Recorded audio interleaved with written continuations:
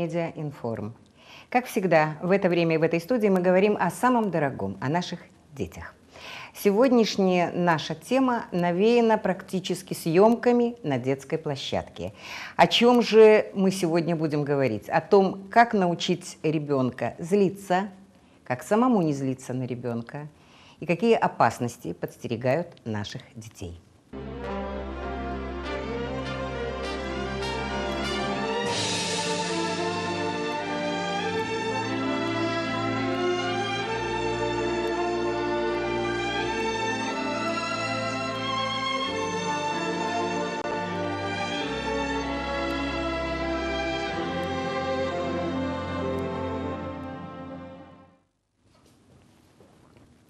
Как всегда в студии Вера Игоревна. Вера Игоревна. Итак, да. детская площадка. Приходим, снимаем. И на детской площадке огромное количество детей, которые живут где-то рядом. Это Кировский садик, предположим, или та же наша любимая или соборка. соборка да.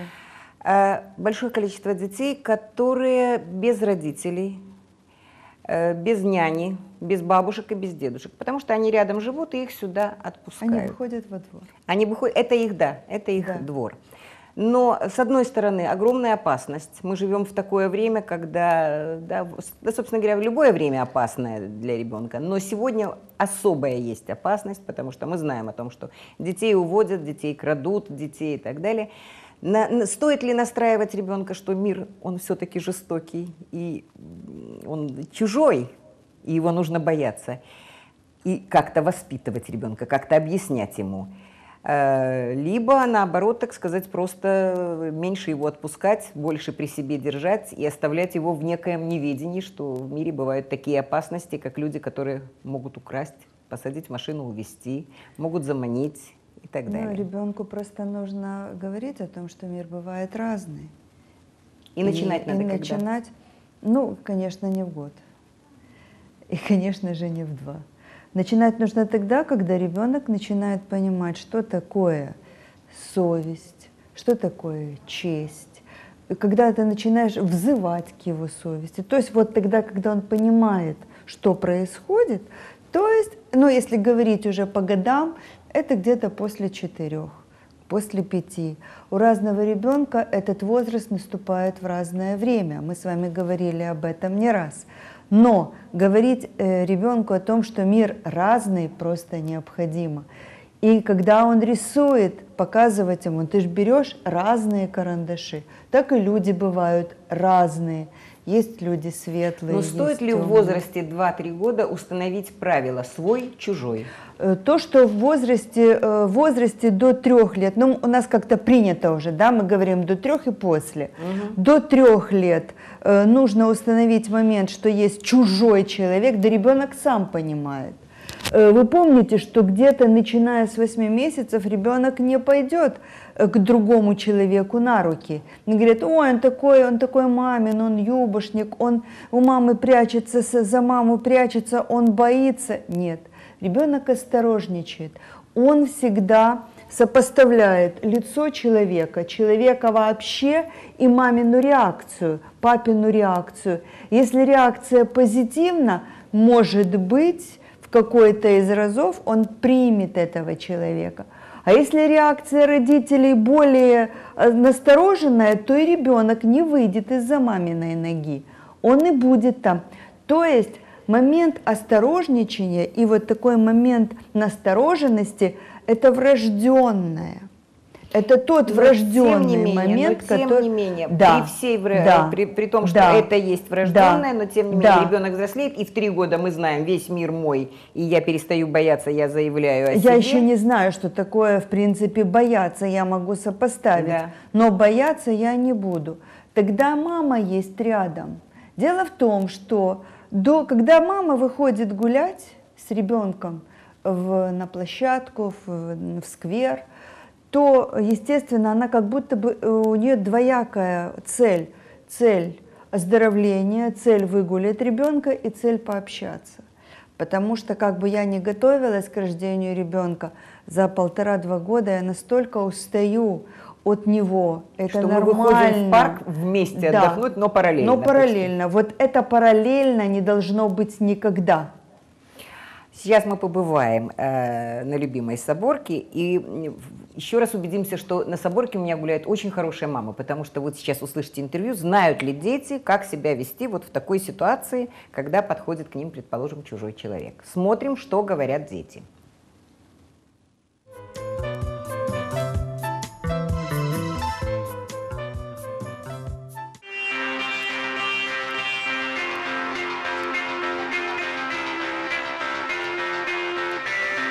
А знаешь ли ты, что с площадки с чужими людьми уходить нельзя?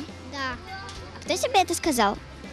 Мама и папа всегда говорят, что это очень неправильно. Могут заманить. Потому что это могут быть злодеи. Да. А вот если мама не пришла, за тобой опаздывают. Вот. А что ты будешь делать? И вдруг за тобой придут кто-то чужой и скажут, твоя мама попросила тебя забрать. Идем, я тебя отведу домой. Что ты будешь делать? Сказала бы нет. Кто-то к тебе подходит и говорит, твоя мама просила тебя забрать. Что ты будешь делать? Э, я? Не пойдешь или пойдешь с этим человеком? Не пойду. А почему? Потому что я знаю, что он чужой, и мама мне не говорила, что он со мной придет. С площадки с чужим человеком уходить нельзя. Да, я знаю. А кто тебе это сказал? Ну, мне в школе сказали и мама. И я сама знаю, что нельзя. А знаешь почему? Да, потому что они, ну, будут граб... Могут ну, забрать. Да? Да, и насиловать. Скажите, пожалуйста, а вы вот знаете, что с площадки с чужим человеком уходить нельзя? Знаю. А кто вам это сказал? Ну, пожизненно как бы знаю, потому что у меня была книга, э, в которой воры, и я ее читала и узнала об этом. Ну вот мы погуляли с тобой по площадке. Что ты для себя выяснила, разговаривая с детьми? Ну, дети знают, что с площадки с чужими людьми уходить нельзя. Они умные, читают, знают, как бы.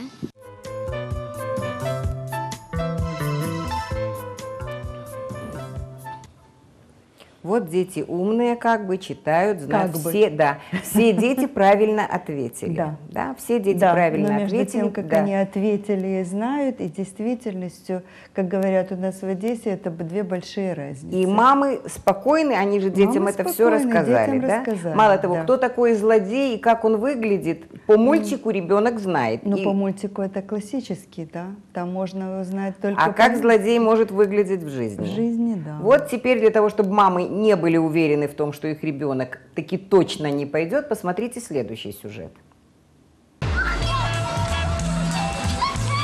Мы выбрали обычную детскую площадку и несколько самых обычных семей, в которых есть маленькие дети.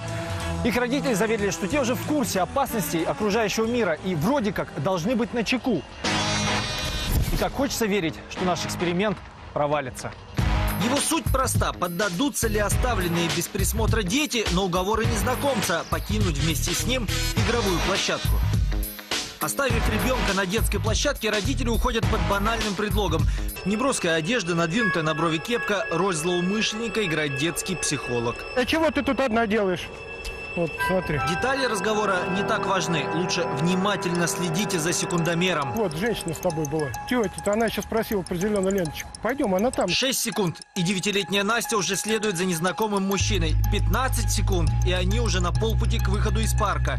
У меня уже все оборвалось, вот поверите. За похищением племянницы ее тетя из укрытия следит в прямом эфире. С каждой секундой она все отчетливее сознает. Проморгать ребенка – выражение совсем необразное. Вот он сейчас ее Он уже вот попробует взять за руку. 35 секунд. Девочка уже за пределами площадки. Вот сейчас видно, Настя сомневается, а давать ли руку незнакомцу. Вот сомнение на лице появилось, видно, у ребенка появилось сомнение, но ничего не закончилось. Переходят дорогу. 43 секунды. Девочка уже рядом с автомобилем похитителя. Ай-яй-яй! Ты с кем пошла? Ты с кем пошла? Тебе что всегда говорили? А если бы этот человек был настоящий? Это просто кино сейчас. Тебя проверили. Что уйдешь ты с площадки с кем-нибудь, с чужим или нет? Ты понимаешь, тебя увел бы, и тебя никто бы не нашел из нас. Никогда бы ты больше не увидела ни маму, ни папу. Эксперимент повторяется снова и снова. Пойдем поможешь. Тут, наверное, ближе будет. И каждый раз с одинаково пугающим результатом. Ну что вы думаете, пойдет? А чего ты тут одна делаешь? Вообще объясняли. Никому нельзя было делать. Но они уже почти вышли из парка. То есть только что вашу дочь э, Фактически, да. похитили. Идите, хватайте его. Объясняйте, что не так.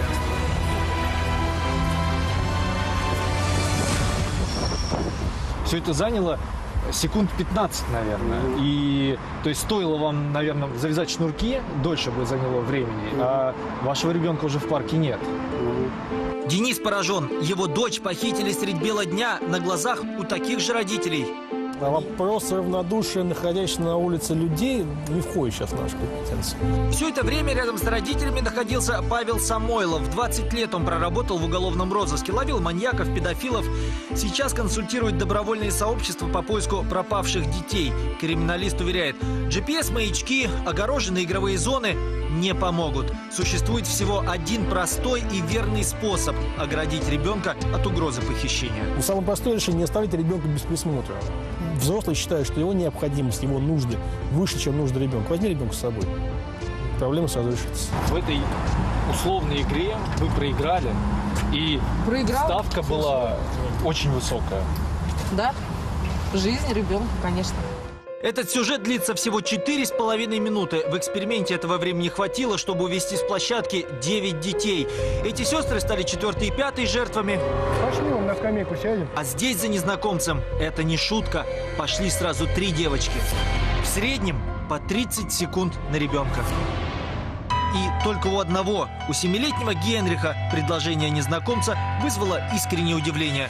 Но разве может он подвести маму? Меня мама оставила там сидеть. Я что, должен с незнакомцем куда-то идти? Давай, ты сегодня молодец. Давай. Молодца. Кстати, а где сейчас ваши дети? Мне кажется, что родители должны научить этой фразе своего ребенка. Я вас не знаю.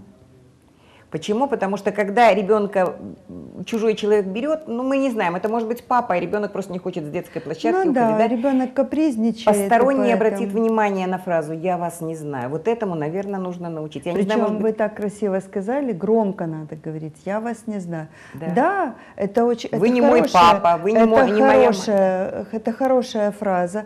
Я вас не знаю. Главное, чтобы ребенок понял это и это использовал чтобы он не терялся, не испугался, потому что, вы понимаете, родители на, наряду с э, увещеваниями о том, что с другими не ходи, эм, у нас же еще и понятие о том, что нужно быть вежливым со старшими, нельзя грубить, оказывается, для э, самозащиты можно. И вот этому родители должны научить ребенка. Они должны научить ребенка грубо разговаривать не с собой, не с бабушкой и с дедушкой, а с человеком чужим. Что значит грубо? Это резко. резко, да, я только хотела сказать, Да, что это, резко. Это не значит э, топотать ногами, кричать, а значит просто сказать, я вас не знаю, вы для меня чужой. Мама скажет.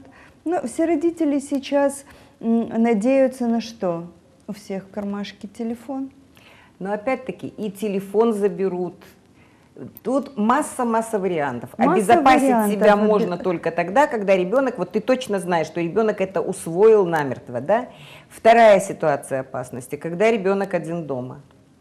Сегодня очень распространено. В дымофон звонят, представляются как угодно, кем угодно, ребенок открывает дверь. Значит, ребенка тоже нужно научить. Я не знаю, вот просто зазубрить, отрепетировать эту фразу, как отче наш. Я вам не открою, я вас не знаю. Мама спит, мама в душе, мама дома. То есть ребенок, это такая, в общем, договориться Да, с ребенком, да, что это ложь да. во Это имя. ложь, что ложь не всегда плохо. Да. Вот в данной ситуации выйти... из- Конечно, это те моменты, которые необходимо с ребенком отрепетировать. Ну, если говорить, выработать у него условный рефлекс. Условный рефлекс на звонок чужого человека. И вот тогда у него будет понимание, потому что Тогда- ребенок же не может понять, плохой человек, хороший человек, да, человек Ну улыбается, да, человек, человек мягкий. улыбается, Если у нас, мягкий. да, если у нас готов следующий сюжет, то мы следующий сюжет покажем, и вот сейчас вы увидите, как э, сегодня один из самых распространенных способов, как можно увести ребенка с площадки. Смотрим. Hello. Вот здесь идет разговор, это э, психолог подходит э, к маме и просит разрешения, мама сидит где-то в сторонке от площадки, сделать вот такой вот эксперимент, да, что он подойдет сейчас к ребенку и попытается ее ребенка увести с площадки. И вот, собственно говоря, Мама мама, уверена, что соглашается. ребенок, да, мама соглашается. Ребенок не видел этого разговора. Собачка в центре внимания, маленькая, очаровательная, приятный мужчина. Дает погладить собачку. Сколько по времени, смотрите. Сколько по времени происходит, тем более, что ребенок знает, что мама на площадке. Все, практически они ушли. Да, как ребенок- раз ребенок дал маме, э, человеку Да. руку, значит, это Все, ребенок уже ушел. Да. Вот вторая мама. Вот Hey. второй эксперимент. You like puppies? Guess Вот. Вот прикосновение, вот собака, как переходный вот этот предмет, да, на который уже ребенок концентрировался, он уже не смотрит на этого даже дядю. Все, ребенка нет. При том, что мама тоже сидит. Ребенок, у ребенка даже не возникает мысль подбежать том, спросить у мамы. к маме да. Да, чтобы спросить у мамы. Мамы, конечно, валяются в обморочном состоянии. Вот просто, вот ребенок, совершенно банальная ситуация. Везде есть такие вот горки. Ребенок спускается. Дядя, на, подержи, что называется. Посмотри, какая прелесть. Точно так же с кошечками. У меня потерялась кошечка, давай пой. Вот еще один ребенок. 10 секунд нужно. Вот мама теперь в отчаянии сетует. Сетует, что как же ты мог, я же тебе говорила, я же тебе говорила.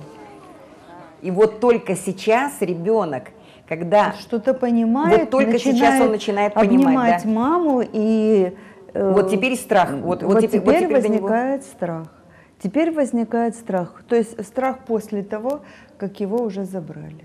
Потому что ребенок все равно в 5, в 6, в 7 лет знает фразу, но не до конца понимает, что он, Он должен делать. И не всегда И- вспомнит это, эти ваши какие-то, так сказать, что плохой, э, чужой. Поэтому лучше ребенка, если вы отпускаете, то отпускать с кем-то, со знакомыми, показывать ребенку, кто может его взять, кто может его привести, с кем он может вести диалог. Э, Кроме того, очень важно, если мама на площадке, она не должна спускать глаз с ребенка.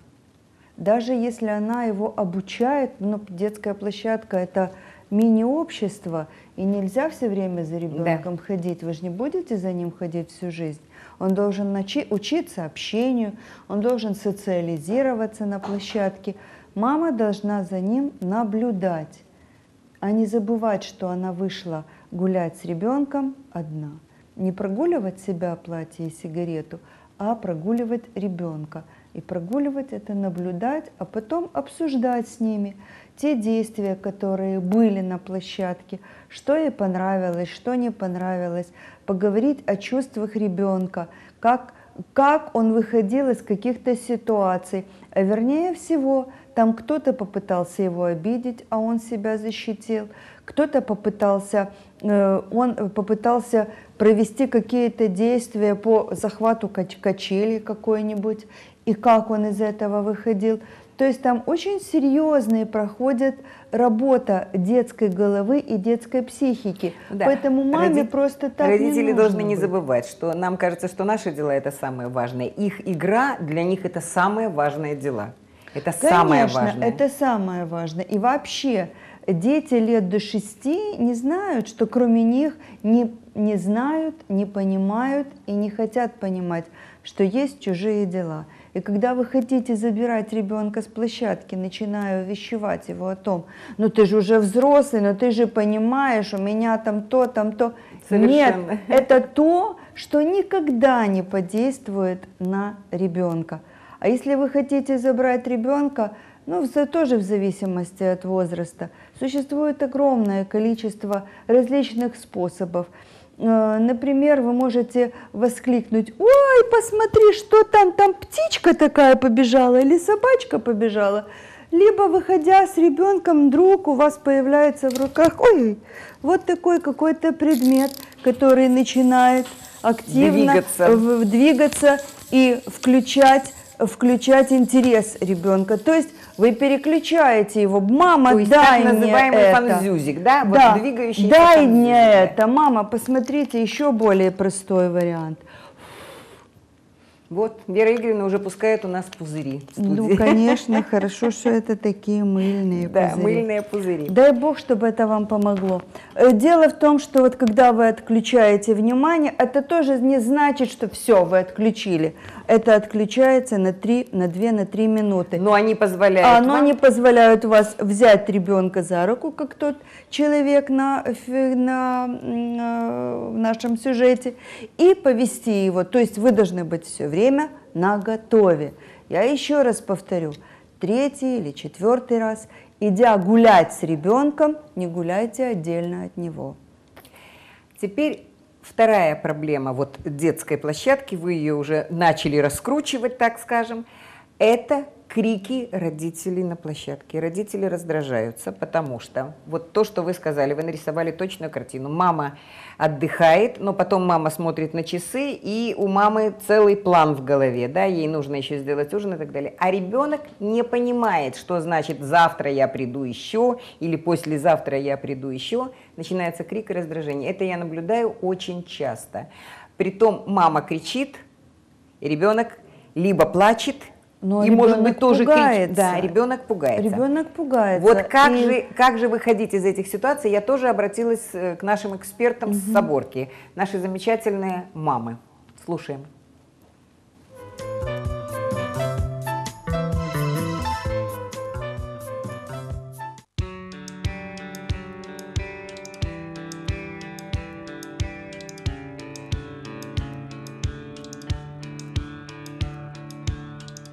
Вас есть какой-то универсальный способ, вот как вот не ругать ребенка и самой не выходить из себя? Ой, ну, стараться как-то сделать вдох-выдох. Получается? Обязательно. Ну, пытаемся. Когда вспоминаю, делать? да, наверное? Да. Ну, сложный вопрос, тяжелый. Конечно, когда э, происходит накал страстей, то очень сложно, конечно, себя сдер- сдерживать и как-то э, нормально реагировать на все. Тем более дети разные есть. У нас такой товарищ непо- непоседливый, вот, такой энергичный. Тигруля, да? очень. Тигруля. Да, да, да, да. Со своим нравом, со своими настроя, настроениями надо при- приспосабливаться. Ну и как-то так лояльничаем, что делать? Ну, считаю, что на ребенка всегда надо находить время при любой занятости. Строить график, чтобы, если человек занят, то строить график, чтобы уделять внимание ребенку своему. Ну, глядя на вас, я понимаю, что вы на нее вообще не повышаете голос. Нет, повышаю. Ага, ну Но тогда... де- стараюсь э, не наказывать физически. Мгм. То есть физических наказаний нет. Нет. Хорошо, а когда повышаете голос, что чувствуете сами? Ну, как правило, раздражает то, что в себе раздражает. И все. Стараемся находить общий язык, там, разговариваем. Много? Пока много. Много. То есть ваш совет много разговаривать? Конечно, общаться, общаться, общаться, как можно больше. Она для вас совсем инопланетянин, когда в какие-то моменты? Ну да, иногда да. Ну, в принципе, находим общий язык сейчас. Мы договариваемся, столько времени будем, столько там, потом это, а потом то. Если не соблюдается, я буду тоже не соблюдать. Они этого пугаются, что мама не выполнит обещание. У нас жестко очень. Если обещал, выполнил. Не выполнить я могу, ну в крайнем случае, обосновывая. Тогда они верят, что к ним это применится наказание. И если договорились, мы же договорились, и срабатывает, да, мы договорились. Только так. Вы замечательная мама. Скажите, это с опытом пришло, со вторым ребенком, или вы изначально как-то, в общем, себя готовя к этому, что-то читали? Ну, да, я педагог, психолог, психотерапевт, поэтому я умею работать с детьми и со своими, и с чужими. Тогда б- вы часто бываете на детской площадке. Что вызывает у вас, как у профессионала, как у психолога, у психотерапевта, вызывает наибольшее огорчение? Огорчение, что родители не замечают э, иногда, скажем так, несоответствующее поведение ребенку его возрасту. И не замечают, что ребенок э, рисует, в общем-то, семью. На площадке он истерит, кричит, командует. И для родителя это норма. Он смотрит и не реагирует. То есть он не останавливает своего ребенка. Хотя бы даже просто глядя на то, что рядом другие. Не, и они считают это нормально. Или он залазит на крышу и прыгает кому-то на голову. Там. И вот не реакция родителей меня, конечно, трогает. Я молчу, но меня это трогает. Вот такие дети при маме, но без мамы, знаете. Ну, как хорошо вы сказали. Можно я этот афорин себе заберу, да? Дети при маме, но без мамы. Я очень часто об этом говорю. Совет договорные отношения, но главное, чтобы родители соблюдали Да, и в наказании, и в поощрении ты должен сам соблюдать. Ты ну, должен наказать так, чтобы ты сам выдержал это наказание. Если ты можешь выдержать час без телевизора, например, день, сутки, вот так и наказывай. А если ты сказал, будешь целый день без телевизора, а через час разрешил, все. Накажи на пять минут, столько, сколько ты можешь выдержать, чтобы ты соблюдал. Тогда они на тебя ориентируются. Такие же требования к папе, такие же требования там, к старшему, к младшему, правда, еще что-то, и к себе самое главное. Тогда они говорят, ты же обещала. И для них это чудо, что мама не врет или что-то еще. Вот это, в общем-то, зеркало. Они отзеркаливают нас. Вот если ты к себе предъявляешь, и они к тебе предъявляют, и они к обществу это предъявляют. А если ты ребенку говоришь, не ври, а сама говоришь, пойди вот тут, скажи вот так, соври. Все, двойной стандарт, у ребенка идет раздвоение. Не ври и ври, где правда, где ложь, и все, ребенок теряется. Поэтому... Ревность была между старшим и младшим? Да, была. Это, это нормально, это естественно, это должно быть так. Очень просто, казалось бы, когда прочитаешь, и очень сложно было в жизни. Я отвела сына, у него пошла агрессия, я сразу это поймала и говорю, сына, вот скажи, что происходит. И я подбирала слова, и всем советую. Ты огорчен, ты болеешь, ты чувствуешь себя ненужным, неважным. Он говорил, нет, нет. А потом я говорю, ты думаешь, мы тебя стали меньше любить? Вот Витя плачет, он говорит, да. И я поняла, да, что где-то это так, знаете. Потому что маленький ребенок, он забирает любовь, да. И все. И все прошло, все отошло, мы объяснили, папа помог. Взял на себя часть, э, вот, что за сыном как-то. Я с папой поговорила, вот так же рассказала. И он проникся. Ну, это обязательно, это в любой семье. Когда говорят, что нет, ребенок не ревнует, они просто не видят. И все. Это через все проходит через это. И мы, и вы, все. Если вы увидите эту маму на площадке, подходите за советом, потому что я сама растрогана ее интервью. Спасибо вам огромное, потому что все очень правильно, очень искренне. Спасибо огромное.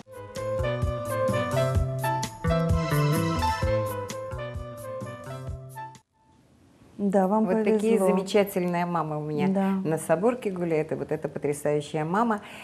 Она проговорила практически за нас с вами Конечно, очень большую очень, часть, и мне было э, приятно именно потому, что из ее уст. Но теперь вот вторая сторона, вот теперь мы продолжим. Детско-родительские отношения. Проговорила, проговорили мы, что мама на площадке разозлилась, ругает. Мама есть мама, маму надо слушаться, да, в ответ либо ор, Потому что ребенок либо замыкание, да, либо слезы тихие такие, и поселившаяся в душе обида. Обида, да. Мгм. Имеет ли право ребенок тоже на злость? На сиюминутную злость? Но ребенок имеет право не на сиюминутную злость, ребенок имеет право вообще на злость. Показать свое раздражение? Это нужно обязательно, потому что э, научить ребенка показывать свою злость, раздражение, свою агрессию, это, будем говорить, дело каждого родителя. Нельзя ребенку запрещать. Как? Нельзя злиться. Нельзя злиться? Да можно злиться. Дело в том, что у ребенка и у взрослого абсолютно разные цели в жизни. И абсолютно разные взгляды на все, абсолютно на все. И чувства одинаковые. И даже ну, ощущения, будем говорить, одинаковые. А научить ребенка чувствовать, говоря ему, что ты чувствуешь сейчас. Ты сейчас разозлился. Что ты делаешь? Давай, давай мы с тобой поговорим. И поговорить это не значит говорить на, на менторским тоном. Ты не имеешь права, это же твой младший брат, ты должен ему уступать. А именно эти тексты я а обычно именно, и слышу. Это же это стандартные Стандартный тексты. идет текст, стандартные наборы. Нам кажется, что мы таким образом воспитываем. А мы да? не воспитываем. А что рождается у ребенка? А у, ребенка ребенка рождается рожда- чувство ненависти. Мало того, у него рождается обида за себя. Он же... Дети эгоисты. Обида за себя. Ненависть к своему собрату, будем говорить, брату или сестре, который забрал у него любимую маму. Э, Раздражение по отношению к маме. Какое право имела она родить себе запасного ребенка? Я же такой хороший. Ах, раз они так себя ведут, значит и я буду вести себя плохо. Еще очень интересные слова у родителей. Если ты будешь себя хорошо вести, То тогда что? да? то, Мгм. во-первых, что значит буду себя хорошо вести? В моем понимании буду себя хорошо вести. Это значит одно. так, как хочет Так, мама. как хочет мама, а не так, как э, умеет ребенок. А мама обычно хочет от ребенка больше, чем он умеет, не научив его этому. Поэтому вот здесь и начинаются разногласия, здесь и рождается агрессия, здесь и рождается раздражение матери по отношению к ребенку и обида на мать у ребенка за то, что она его не понимает.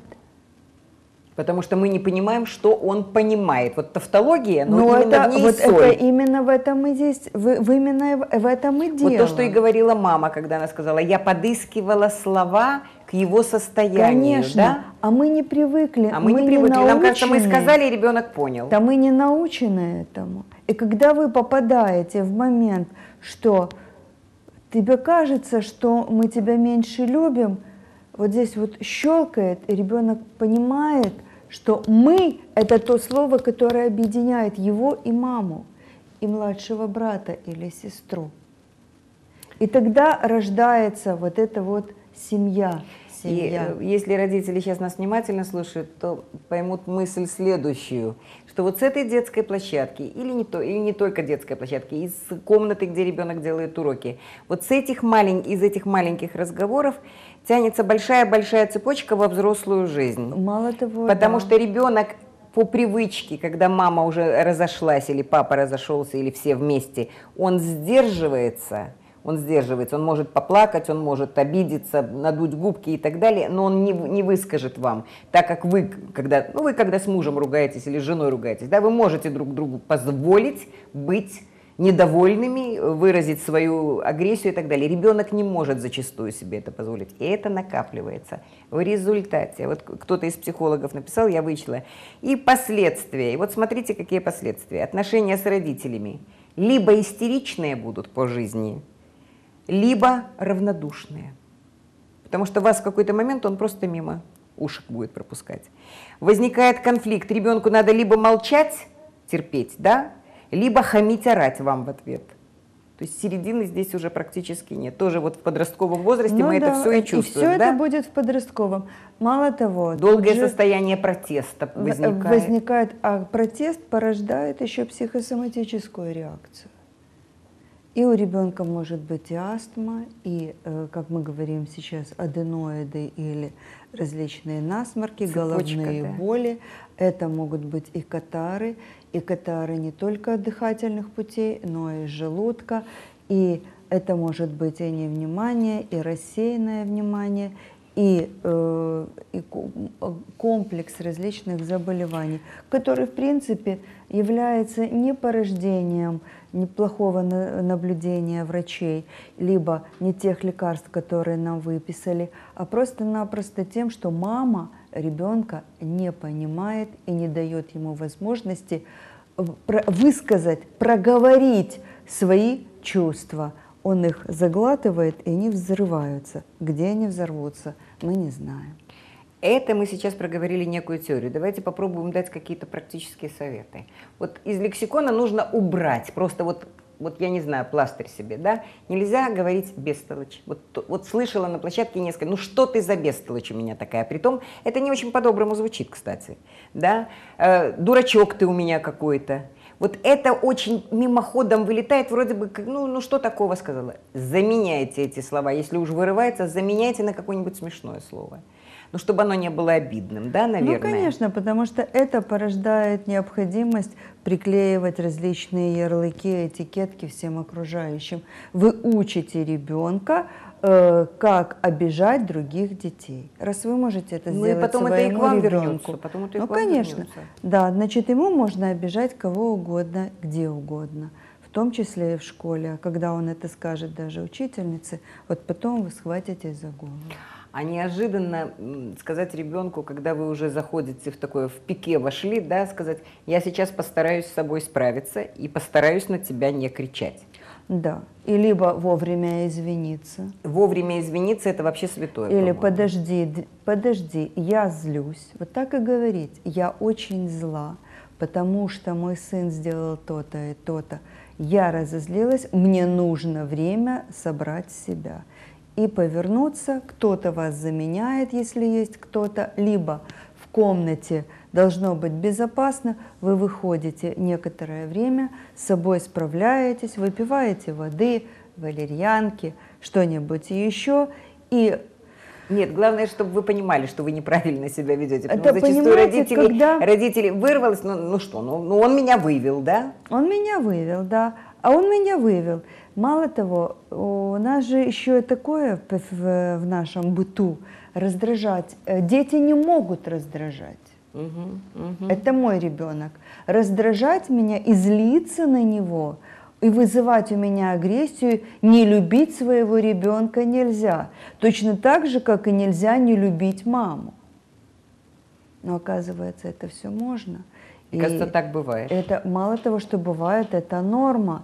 Но если вы не научили своего ребенка правильно не любить маму, то ваш ребенок будет пугаться этого чувства, стараться лебезить перед вами.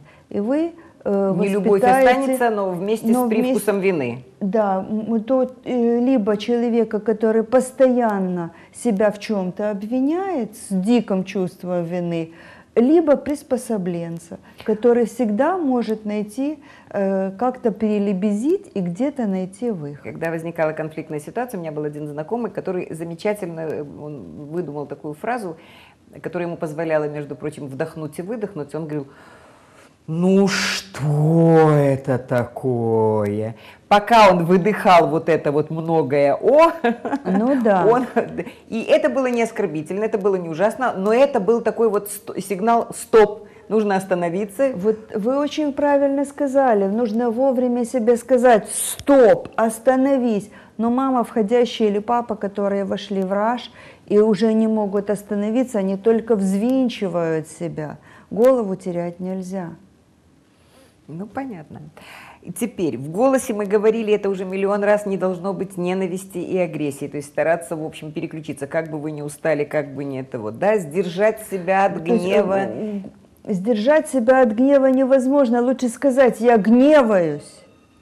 Ведь один, да, вот лучше я гневаюсь. Ведь если вы разговариваете с начальником, который вас безумно раздражает, да, вы в разговоре с ним Сдерживаете сдерживаетесь, себя. а с ребенком можно не церемониться, А потому что это ребен- ваш А ребенок. ребенку вообще можно всю обиду на начальника вылить на ребенка, придя домой. У нас звонок. Мы слушаем вас, говорите, пожалуйста. Здравствуйте. Добрый вечер, Добрый уважаемая вечер. Вера Игоревна и Наталья Леонидовна. Это ваш постоянный... Мы узнаем. Да, Игорь Викторович. У Девочке год и три месяца. Мы каждый день гуляем в парке Шевченко. Вот. Ну, понимаете, вроде ребенок маленький. Нам уже надо, допустим, ехать домой. Она на- на- направила свои стопы к стадиону Черноморец. Не дай бог не пускаешь, садится на колени, крики. Да. Но у нас есть секрет, мы хотим посоветовать всем. У нас есть собака, которая идет сзади. И мы говорим, Аля, позови Диду. Девочка разворачивается, идет к собаке, которая уже в ужасе, потому что целый день она ее достала. Собака идет к дедушке, и ребенок, естественно, за собакой идет к дедушке. Вы гениально Вопрос придумали. исчерпан, мы идем туда, куда нам надо. Гениально. Спасибо большое, до свидания. Спасибо. вам. Спасибо большое. Вы поделились своим опытом. Я думаю, что вас услышали одесситы и тоже используют, у кого есть собака, у кого есть переходный предмет, вот как принесла ну вот Вера мы Игоревна. сегодня да. говорили. То есть Да, можно этот предмет можно вынуть из кармана, можно его спрятать где-то. А есть очень хороший метод не на полу, когда ребенку вот как э, маленькой Али э, год э, Да, и восемь. больше 8 месяцев, то тогда то тогда в конце концов, если вы, ну, ну не слушается он вас, вы можете просто взять ее под мышку и выводить, разговаривая с ней, выводить его из зоны конфликта, который был вот в пяти метрах, разговаривая и говоря, что там такое происходит, такое происходит, идем смотреть Включите и так свои актерские далее. способности, Да. да? Вот. Но когда ребенку уже три и за три года, ребенка предупреждаем. Мы скоро идем домой. У нас осталось Заканчивая пять минут, игру. да. Да, у нас осталось 5 минут, у нас осталось 3 минуты, у и нас как сказала осталось... эта мама, выполняйте, и тогда, может быть, первые слезы вы переживете, но ребенок будет знать точно, что ему Реб- дали 5 мы ему минут. дали 5 минут. Заканчивайте игру. Либо если ребенок, вы смотрите, как там он играет, если там очень интересная игра, вы заканчиваете игру, я к тебе подойду. То есть для ребенка это уже сигнал, что он уходит. Вы знаете, это работает. Это работает не на один раз. Э, Мои клиенты использовали такие уловки, будем говорить, и такие э, моменты в своих заборах детей с детской площадки, с дней рождений, либо из каких-то других интересных мест. А переключение внимания – это одна из основных. Но то, что делает дедушка Игорь Викторович, он переключает внимание ребенка с себя на собаку. На собаку. Я имею в Ну, я виду думаю, себя, что себя это вот у такого дедушки, как Игорь Викторович, проблемы дальше не будет, потому что когда есть чувство юмора, оно всегда спасает. Один мой знакомый, значит, тоже в критической ситуации, он начинает хрюкать, когда что-то вот происходит конфликтная ситуация с э, ребенком, он начинает хрюкать. И это так смешно становится, что, в общем, ты начинаешь смеяться, а вот это дает вот ту паузу, Да. после которой начинается уже, уже начинаются слова. Мало того, И это как дает предупредительный паузу, знак. и это дает возможность вам совершить действие с вашим ребенком. Либо, если с ребенком уже все, вот тут уже, все, да. все уже. Присядьте рядом с ним, возьмите его на руки и дайте ему почувствовать свое тело.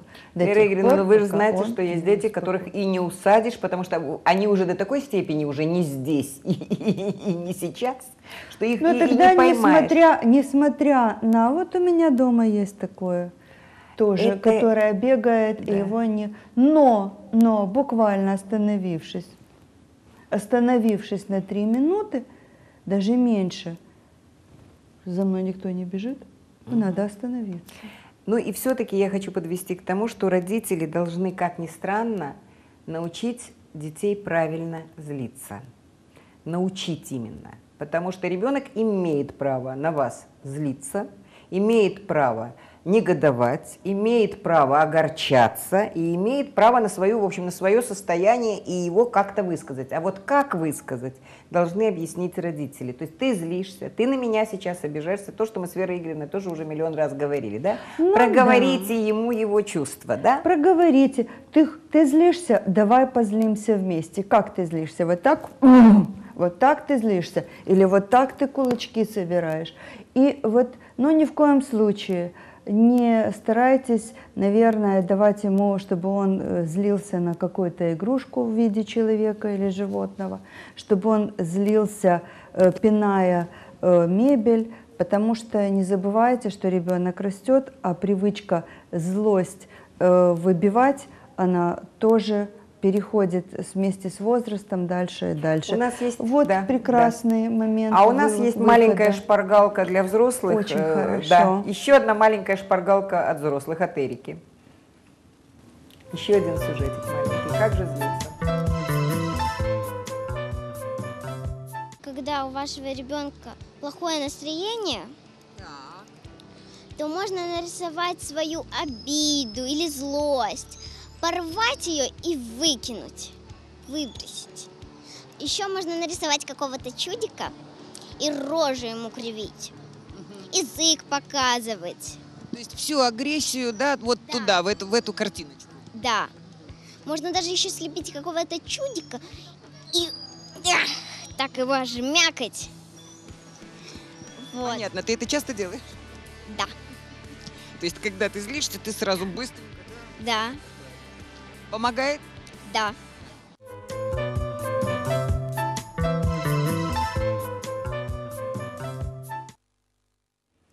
Ну вот практический Вот, совет мы дали, да, да. да. И человек, который исполняет это, ему помогает, вот был перед вами.